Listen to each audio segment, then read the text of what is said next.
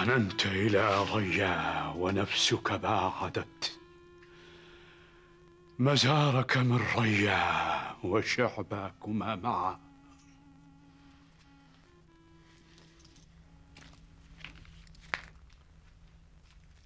فما حسن أن تأتي الأمر طائعا؟ وتجزع إن داعي الصبابة أسمعا. تعرض بي يا عبد الملك. ذكرت هذا البيت لتشبه حالي بحال من يأتي بنفسه إلى الفرقة ومباعدة الأحباب طائعا ويجزع حين يذكر الصبا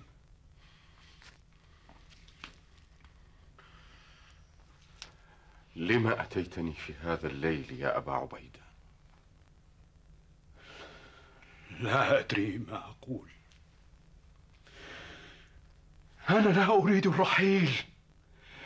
وفي نفسك علي عتب ولوم يا أبا سعيد. إنها ضرورة العيش وحب السعة. وفوق كل ذي رغبة النفس في التطلع إلى كل غريبة وعجيبة. ولا أغرب أو أعجب من سماعنا لما يدور هناك في بغداد وفي قصور أصحاب الملك. أنا لن أكون خارج الأسوار. منتظرا موكب يحيى أو جعفر أو الفضل.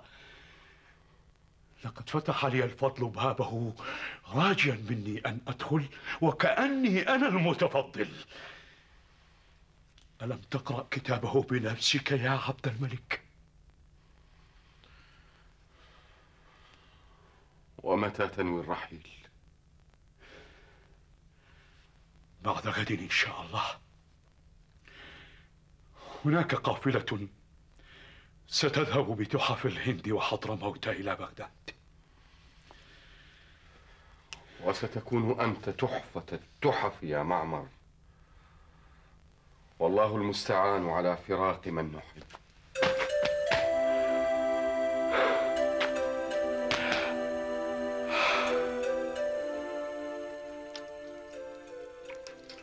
إنه أبو السعد والسعادة. يجب أن ننسى اسمه القديم. ما دامت السعادة قد دعت فهو ليس بأبي عبيدة. الرجل ما زال على ظهر الناقة وبينه وبين بغداد أيام وأيام. الأرض تطوى لمن يستقبل الخير يا عبد الملك. عسى أن يستقبله الخير. عسى؟ هم. قل إن الخير ينتظره. ما دام الفضل البرمكي هو من دعاه وكتب إليه يستقدمه. سمعت من بعض نساء الحي إن رجلا من تميم غادر البصرة وأهله جياع. وما إن بلغ بغداد حتى وجد عملا في مطبخ جارية من جوار كاتب ديوان الجند. وفي صباح يوم مبارك. جاء رسول ومعه دنانير ذهب. وضعها بيد امرأة هذا الرجل. قائلا هذا بعض ما كسبه زوجك. النساء تغزل مع صوف القصص دفعا للضجر والملل. إنها حقيقة وهناك الكثير مما ترويه الناس.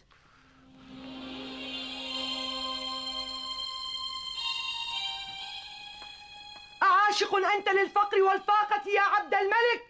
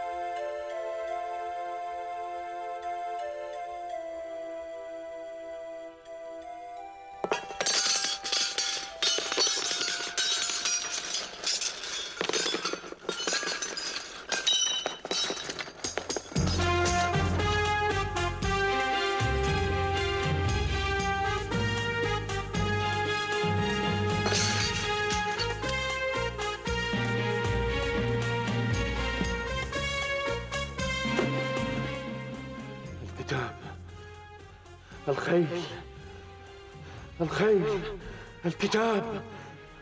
الخيل الخيل الكتاب. الكتاب.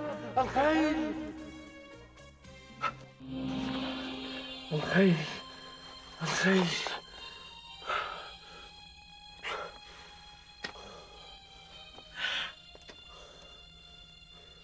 ما هذا يا عبد الملك؟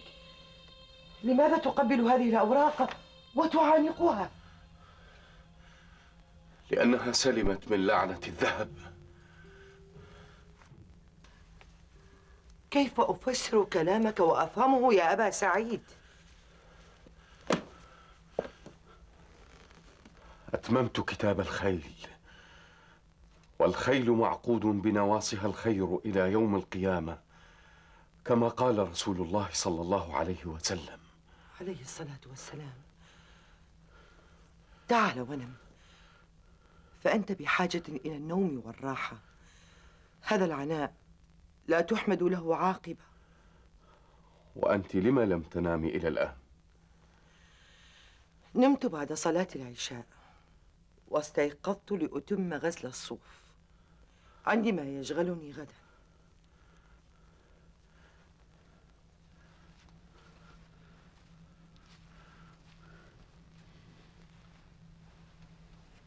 سأنام براحة الليلة لقد وضعت عن ظهري حملا ثقيلا. سترهق ظهرك بثقل آخر.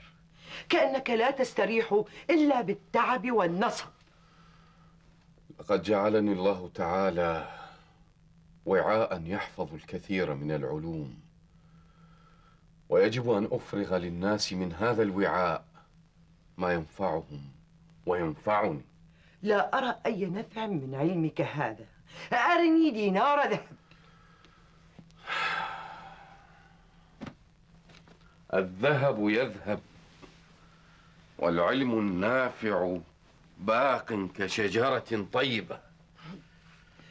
والفقر الذي نحن فيه من أي الشجر والنبات هو؟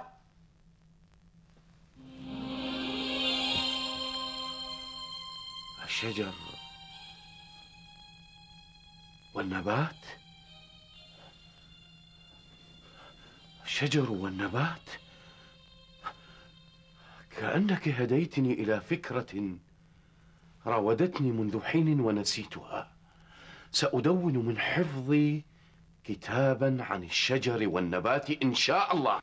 يا ليتني لم أذكر اسم الشجر والنبات. الصوف لما فعلت هذا يا امرأة؟ ما بال الصوف؟ أخشى أخشى أن يخطر ببالك ما يجعلك تدون كتابا عن الصوف صحف صحف وكراريس لا نفع فيها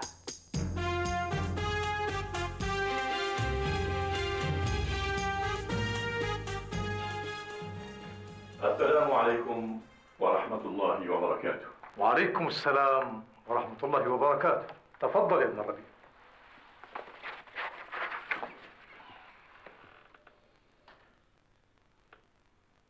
كيف يكون هذا؟ إنه ثغر أنطاكية ومن ورائه الروم من هم هؤلاء؟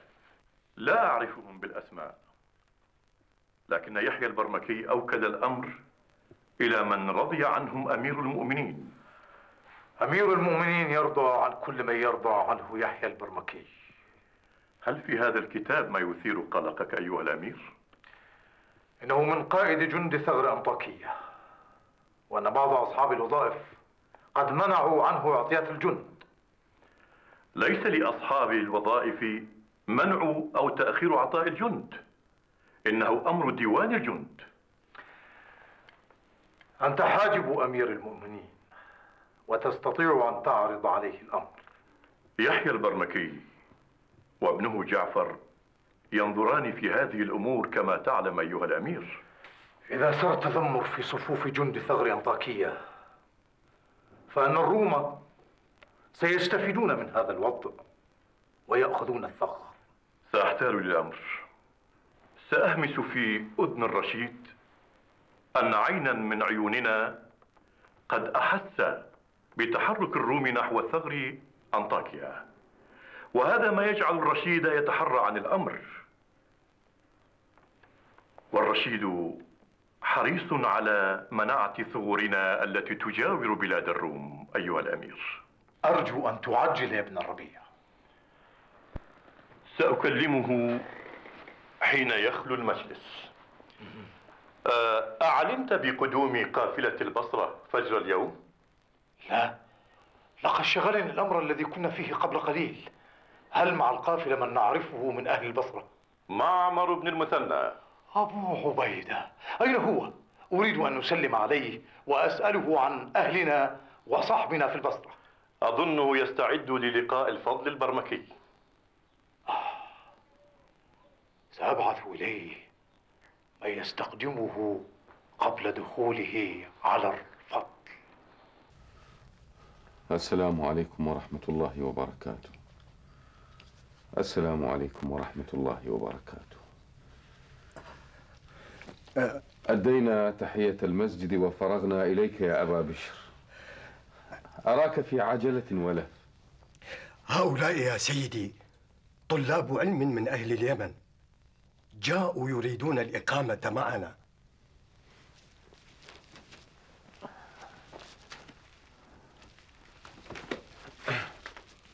السلام عليكم ورحمة الله وبركاته. وعليكم السلام ورحمة الله وبركاته. متى قدمتم إلى البصرة؟ أول أمس. هل نزلتم في الخان؟ استقبلتنا ثقيف بالكرم وأنزلنا سيدها في دار له قرب السوق. ثقيف سباقة في المجد والحمد. يا ليتني فزت بكم قبل ثقيف. فنحن نفوز بعلمك يا سيدي. ليس من مجلس أدب ورواية إلا وذكرك. ولقد أردنا القدوم إلى البصرة لنأخذ عنك الحديث والرواية وأيام العرب. عني وعن غيري من علماء حفظة أثق بهم. اقترب يا سهل.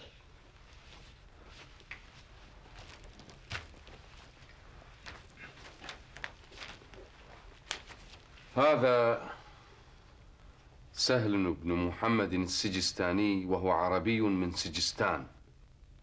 أخذ عني وعن غيري فأصبح واحد زمانه في اللغة والأخبار. وسينتفع بعلمه من يجلس إلى حلقته إن شاء الله. وهذا أبو بشر سيبوي عالم في اللغة وله اطلاع واجتهاد. فمن أراد النحو فأنا أوكله إلى سيبويه. كلنا تلاميذك يا سيدي. وأنا نفسي كنت تلميذا لعلماء وشيوخ. وسيكون إخوانكم من أهل اليمن في حلقات الدرس بيننا. فلا تبخلوا عليهم بعلمكم وحلمكم. كيف هي الأبلة؟ كيف هو درب البستان الذي كنا نلهو به حول بركة الماء. ويعلو صياحنا فينهرنا عبد الملك قائلا نحن نتذاكر الشعر يا صبيان. ابتعدوا. كنت أتمنى أن أكون صبيا مثلكم على أن يمنحني عبد الملك الأصمعي من مسائل اللغة والشعر. تفضل يا أبا تفضل. تفضل. كنت أتمنى أن أقترب وأسمع منه لكن أبي رحمه الله ألزمني التعلم في البيت وأعدني لأكون من أمراء الجند. أنت في مكانة تفتخر بها البصرة قبل باهلة. والآن أرجو أن تأذن لي بالكلام أيها الأمير. فإني أحمد الله أنك بعثت في طلبي قبل دخولي على الفضل بن يحيى البرمكي. قل لي يا أبا عبيدة أنا مقبل على رجل شاع عنه وذاع. ما لا أستطيع أن أميز بين حقيقته ومبالغة العامة فيه. وهو يريدني لأمر فيه امتحان. الفضل من البرامكة الذين يشترون الحمد والمجد. وذيوع الذكر بغالي الثمن. ويتخيرون كل مسموع الصوت واضح الأثر ويبالغون في إكرامه ليحركوا لسانه بمدحه مجالسهم لشراء المديح لا للأدب والعلم. هذا جواب من سألني عن معنى هذه الكلمات. فليستمع وينتفع بما أقول إن شاء الله. الكفة هي كفة الميزان وكفة الرمل ما استدار منه. الجد الحظ والجد الاجتهاد. اللحن الفطنة واللحن الخطأ في الكلام. السرب جماعة الإبل وجماعة النساء. الروع الفزع والروع النفس. والخير ضد الشر والخير الكرم. رجل مبطن إذا كان ضامر البطن والمبطن أيضا كبير البطن من الرجال.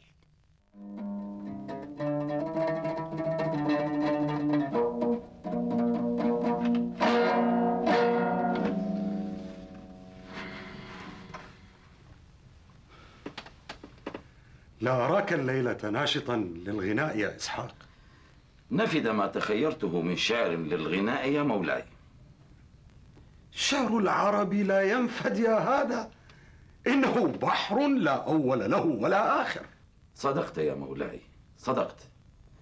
لكن ما يصلح منه للغناء بما يوافق الضرب على العود درر هذا البحر والدرر لا تنالها اليد بيسر. وكيف ستنالها يدك يا ابن الموصلي؟ مم.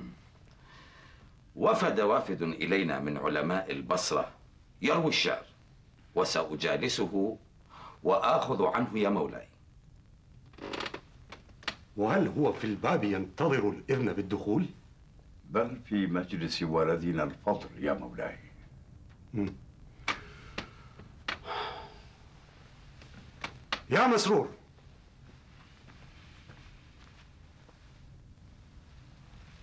ابعث من يأتينا بعالم البصرة من مجلس الفضل البرمكي. ما اسم هذا الراوية البصري يا إسحاق؟ أبو عبيدة معمر بن المثنى. اسمع يا مسرور. لا تقتحم مجلس الفضل فيقع الذعر في القلوب من دخولك عليه. عفوا يا مولاي. أتأذن لي بالانصراف.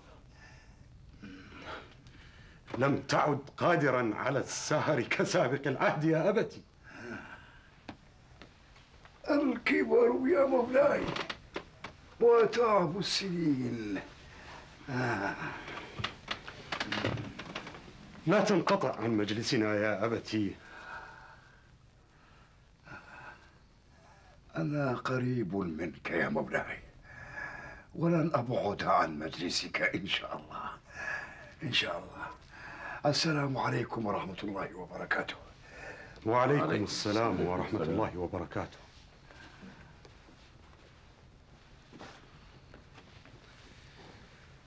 أسمعنا صوت العود إن لم تجد ما تغني يا إسحاق. أريد أن أسرك يا مولاي بأمر بلغني من بلاد الشام.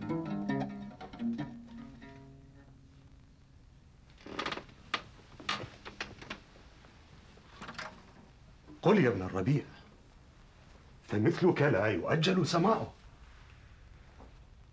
لنا عين في قرية عند ثغور أنطاكية يعرف لغة الروم وطبايعهم. أرسل إلينا محذرا من نية يبيتها الروم. نهر أنطاكية. يحرسه جند يقودهم نصر بن حاتم. وهو يقظ لا يغفل في تحرك الروم ما يثير الريب يا مولاي. ثغر أنطاكية بعيد. والطريق إليه وعر. وتحجبه الثلوج شتاء. وهذا قد يؤخر ميرة الجند وعطاءهم ومولاي أدرى بحال الجند إذا تأخر عنهم العطاء أعلم لكن جعفرا البرمكي أوكل أعطيات الجند إلى من لا يقصر في عمله من هنا؟ من أنت؟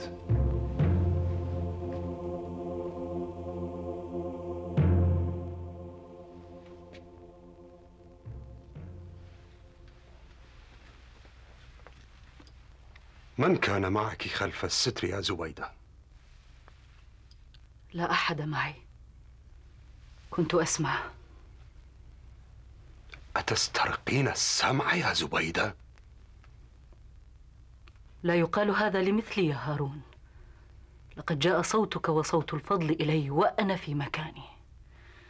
وليتني لم أسمع. ما الذي تاسفين على سماعه يا زبيدة؟ ما يهدد ثغر أنطاكيا وتقصير جبات المال والخراج في مد الجند بالمال والميرة. من تكلم عن تقصير الجند وأصحاب الوظائف؟ ما داموا من أصحاب جعفر البرمكي فإنه سيجبون المال لأمور تجعل أعطيات الجند في اضطراب.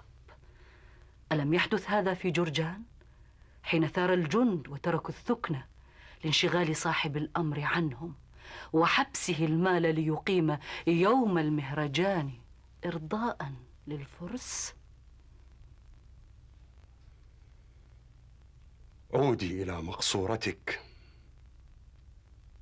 واتركي لي تدبير شؤون الملك. وهل سيتركك يحيى وابنه جعفر تدبر أمور الملك وقد أطلقت يدهما يا ابن عم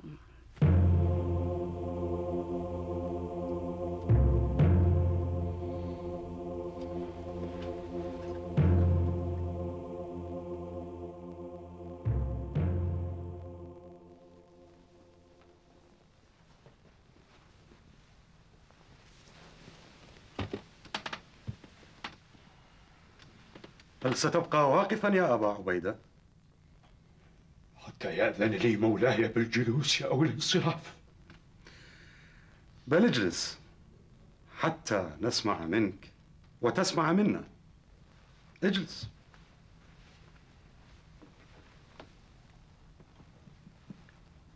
ارفع بصرك يا بصري.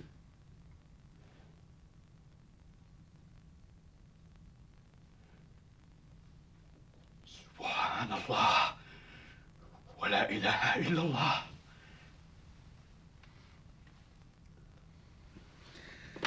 لما تبسمت يا إسحاق؟ تذكرت بيت شعر لبشار بن برد حين سبح أبو عبيدة وهو ينظر إلى مولانا أمير المؤمنين مم. وما هو؟ لا يليق بي أن أذكره إني أمرك أن تقول آه يقول بشار بن برد في وصفه حسناء باهرة الجمال. تلقي بتسبيحة من حسن ما خلقت وتستفز حشران بإرعاد.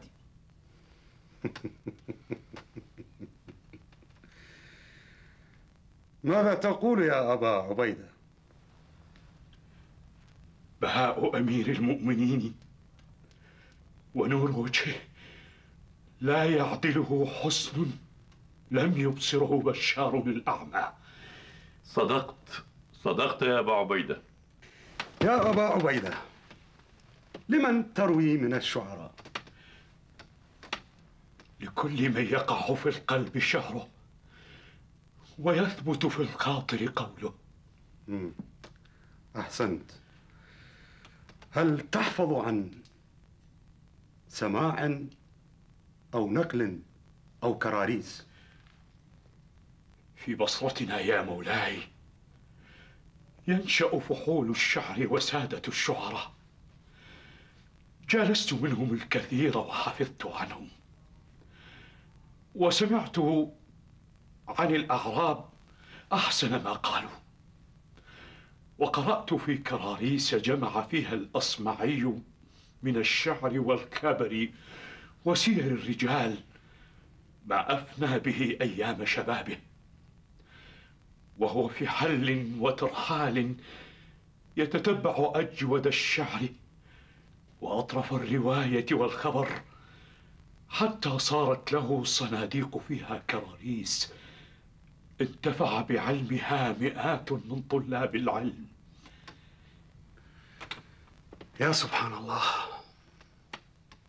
لم يدخل مجلسي هذا شاعر أو فقيه أو نحوي إلا وقال سمعت من الاصمعي أو نقلت عنه.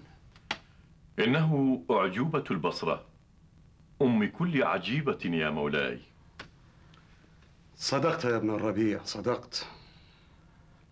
فالبصرة والكوفة قد جمعتا أهل العلم وتخرج فيهما أصحاب لسان ورأي يدافعون به عن دولة الإسلام ولغة القرآن. ليتني أجالس الأصمعي وأسمع منه وأحفظ. عنبر. مولاتي ادفعي بهذا الكتاب إلى الخادم. وليمضي به الساعة إلى سيدك الفضل بن الربيع. سمعا وطاعة.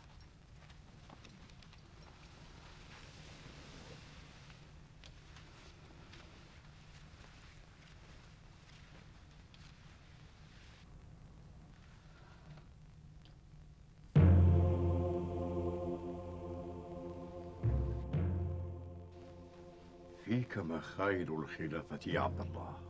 وإن الأمر صائر إليك إن شاء الله. محمد. تعال إلي يا ولدي تعال إلي يا ابن الهواشم. دعني أنظر في وجهك الجميل.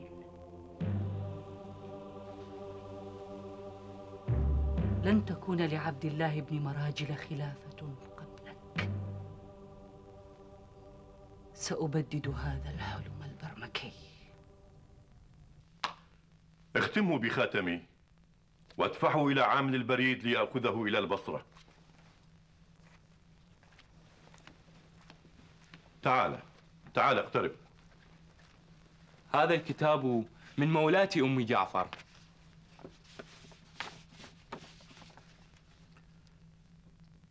إذا بلغك كتابي هذا كن أنت جوابه.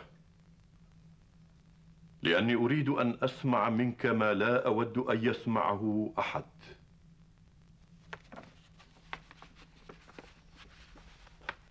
السمع والطاعة يا أم جعفر.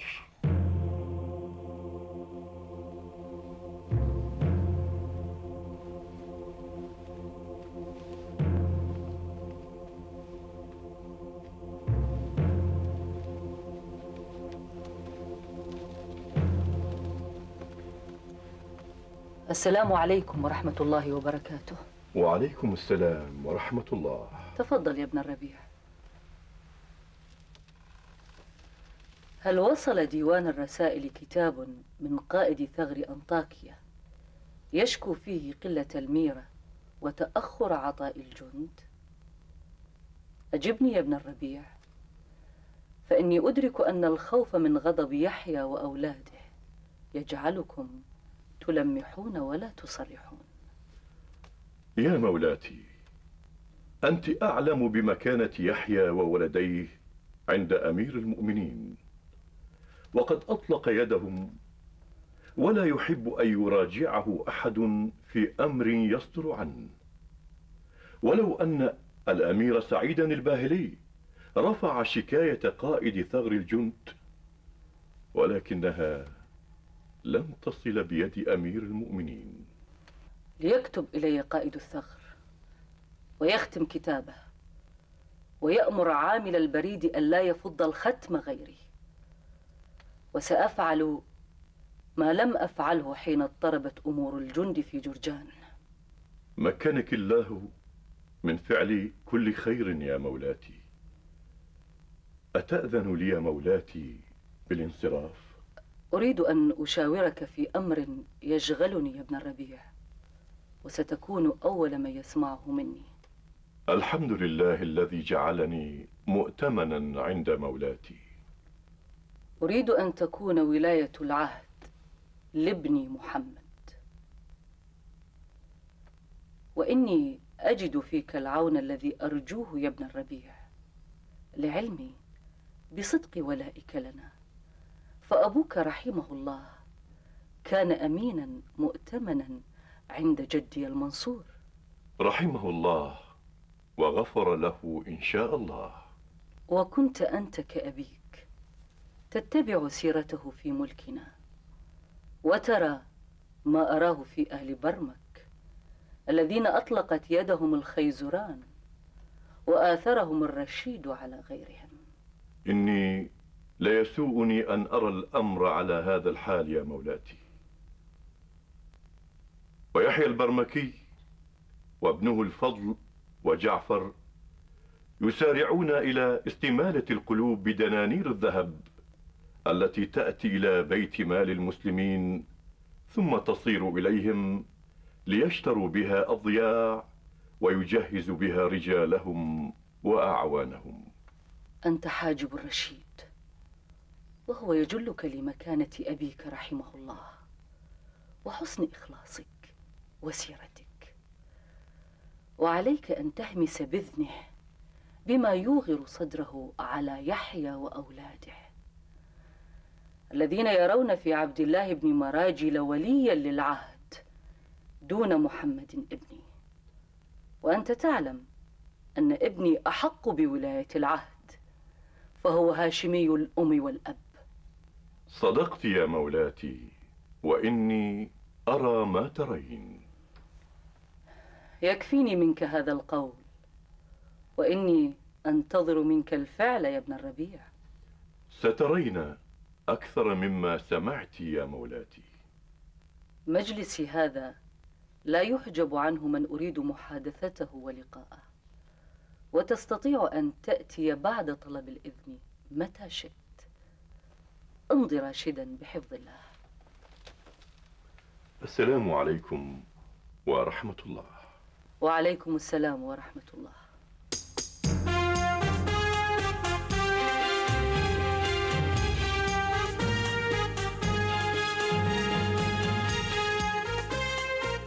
تخير بغال من ثكنة الجند لنقل العلف. رافق تاجر العلف إلى الثكن هيا.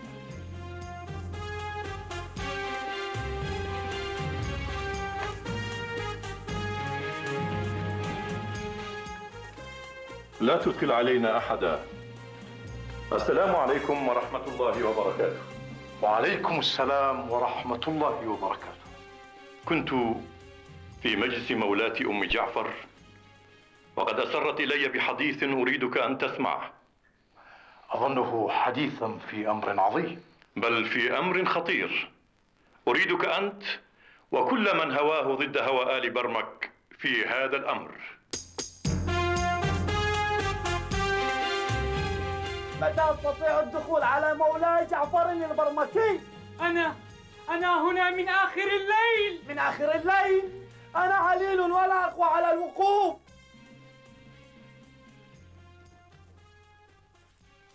قل لي مولاك جعفر مبارك الدهقان في الباب. عجل! ليس لي نسبا يصلني بفارس وأهلها. لكنت الآن في مجلس جعفر. اسكت يا هذا فحولك آذان تسمع.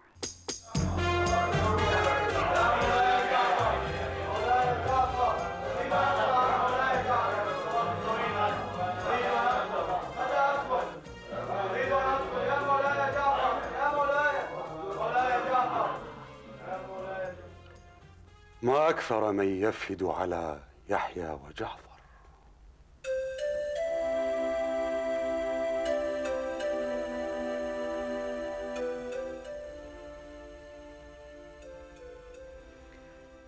ديار آل برمك ودواوينها عامرة بالوافدين. خففوا عني أعباء الملك. وأفرغوا بيت المال. أعني بيت مال المسلمين لا بيت مالهم. يا أم جعفر. ما بالك لا تريد أن تسمع مني يا هارون؟ لقد اشترى جعفر البرمكي لأمه الضيعة التي كنت أنت تريد شراءها بمال حمله الخازن من بيت مال المسلمين بأمر جعفر البرمكي. وقد دعتني عتابة زوج يحيى البرمكي إلى التنزه بضيعتها التي أهداها إليها ابنها جعفر. وفي دعوتها هذه شماتة بنا يا أمير المؤمنين. وكأنها تريد أن تقول إن ابنها جعفرا يستطيع ما لا تستطيعه أنت يا ابن عم. ما لي ولأحاديث النساء وثرثرتهن. إنه ليس حديث النساء بل حديث ما يفعله هؤلاء بلا مراجعة ومحاسبة. لا أريد لوما وتقريعا في مجلسي. ألم أنهك من دخول مجلسي يا زبيدة؟ مجلسك خال حتى من أصحاب الوظائف. الكل هناك في باب يحيى. ومجلس جعفر حيث يدار الملك.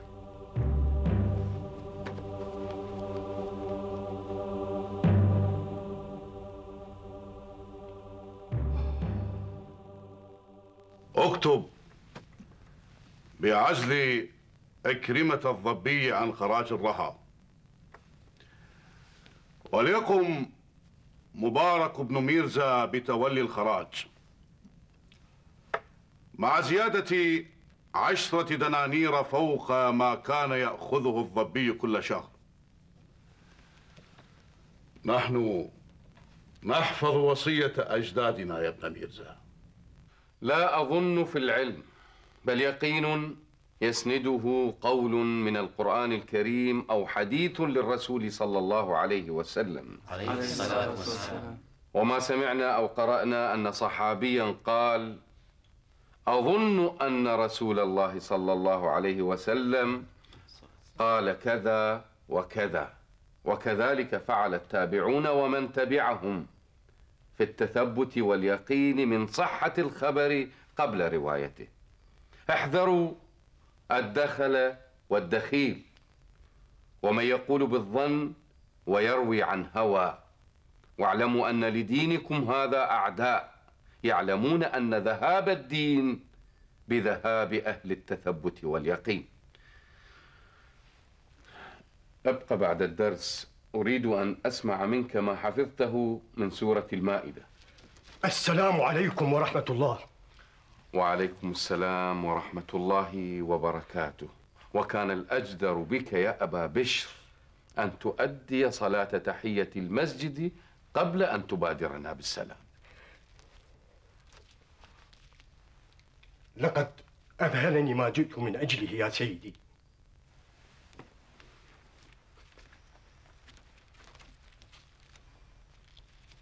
ما الأمر؟ أراك في اضطراب. كاتب الوالي وحارسه في باب المسجد وقد منعتهما من الدخول. وكيف تمنع عباد الله من الدخول إلى بيت الله؟ لقد جاءوا من أجلك يا سيدي. الوالي يريدك الساعة. خيرا إن شاء الله. عسى أن يكون الأمر خيرا. يا أبا بشر قدم الخير ولا تقدم ظن الشر. هؤلاء لا يسألون عن عالم أو يطلبونه إلا فيما يسترنا الله منه. الله خير حافظا وهو أرحم الراحمين. اجلس في مكاني.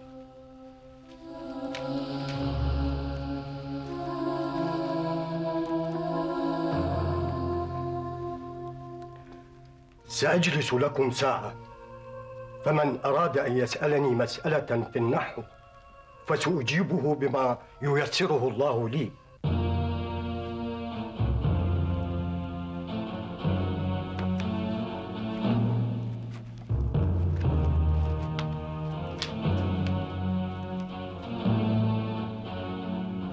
لقد تشتت فكري. يرسل الوالي في طلب سيد الأصمعي في مثل هذه الساعة؟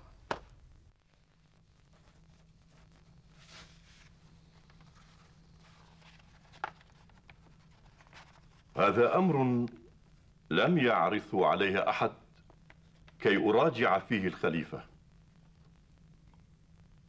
كيف يضع جعفر البرمكي خاتمه؟ حيث يجب أن يكون خاتم الخلافة. سأعرض هذا على أمير المؤمنين غدا في الغداء. ولكن مولاي جعفرا يريدك أن تنفذ أمره. أذعن لأمري وانصرف. خاتم الخلافة بيد يحيى وجعفر يصرف الأمر كما يشاء. والخليفة ليس في غفلة عن هذا. وربما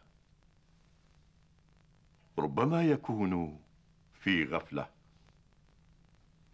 لقد لقد ذهبت بحال وعدت بأسوأ حال. ما الأمر يا عبد الملك؟ أريد أن أخلو لنفسي لأتفكر في أمر. هكذا. هكذا تبدأ بكتابة كتاب جديد يأخذك منا أياما وأيام. اتركيني يرحمك الله. أنا أستحق الرحمة. ارحمني يا رب.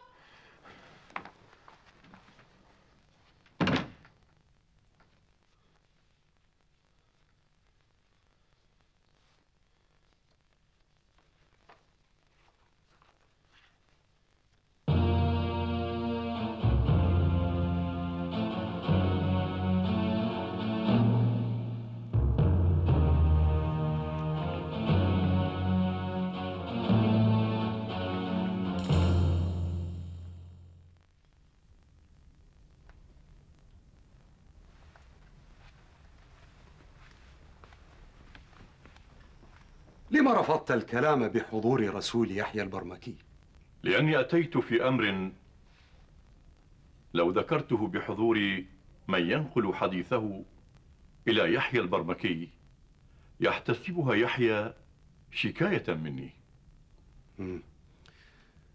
وهل أتيت بشكاية يا ابن الربيع؟ خاتم الخلافة ما عاد بيد يحيى يا مولاي أهل بيته يصرفون الأمور بخاتم خلافة رسول الله صلى الله عليه وسلم التي وضعها الله فيكم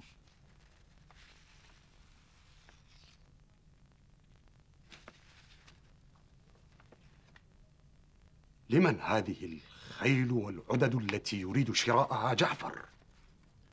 لقد أمرني أن أذعن دون مراجعة أو سؤال على لسان رسوله.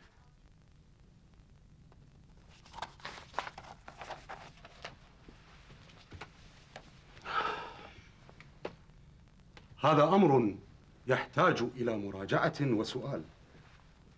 سأدعو جعفرا وأرسل في طلبك ونعرض عليه الكتب. لعله يريد أن يكفيني مؤونة أمر جلل. تعال يا محمد تعال. بسم الله وما شاء الله. وبارك الله لك يا مولاي في ولدك. وجعل إليه ولاية عهد المسلمين الذين يسرهم أن يلي أمرهم هاشمي من آل البيت. ومحمد حفظه الله هاشمي الأب والأم وفي ذلك زيادة خصها الله به. ما تعلم أني أدخل بلا إذن يا هذا. دخلت علينا غاضبا يا جعفر. حتى أنساك الغضب مكان الخلافة وهيبتها. حاشا لله أن أفعل يا مولاي. لكن إعاقة شؤون الملك بما يقتضيه الحال. من قبل من عليه السمع والطاعة يحرك ساكن الغضب. أيأذن لي مولاي فأجيب؟ دعني أمهل جعفرا. حتى يسكن عنه الغضب ويسمع مني. أسمع وأطيع يا مولاي. الفضل بن الربيع بن يونس هو من تعلم ومكانته عندنا لا تجعله مأمورا يسمع ويطيع. لقد نشأ معنا كما نشأت أنت وصاحب أبوه جدي وأبي وأحسن في الصحبة والعمل والطاعة؟ لقد رد رسولي بأقبح رد يا مولاي. أتريد أن تجعل من أصحاب الوظائف والرسل مكانة فوق مكانتنا يا جعفر؟ الفضل حاجبي ومن خاصتي وهو يشاورني في كل أمر يعرض عليه. وهذه الكتب تحتاج إلى مراجعة وسؤال يا جعفر.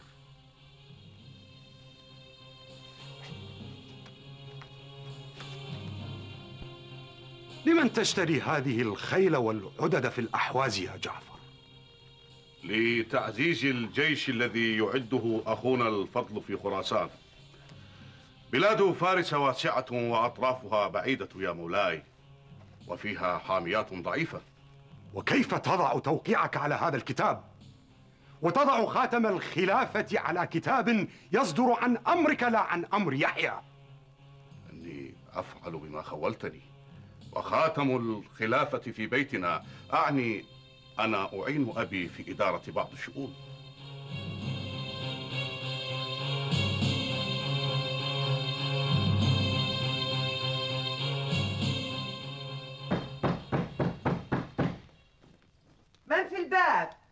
أنا أبو بشر يا أم سعيد.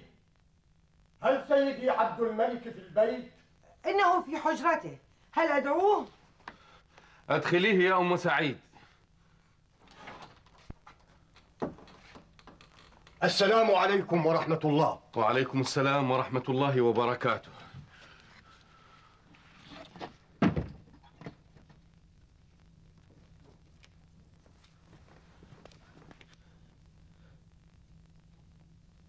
ليته يبوح لي بما يشغله ويهمه كل هذا الهم. لا. لا. لا. يجوز أن أسترق السمع.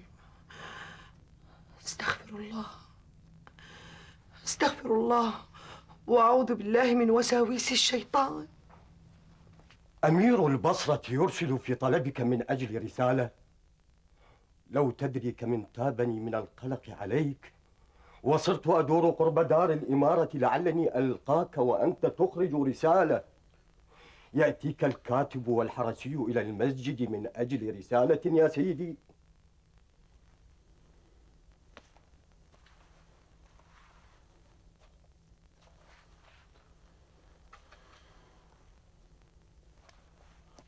أقرأ بنفسك. ليزول عنك عجب ويأتيك عجب أكبر. بخاتم وتوقيع الفضل بن الربيع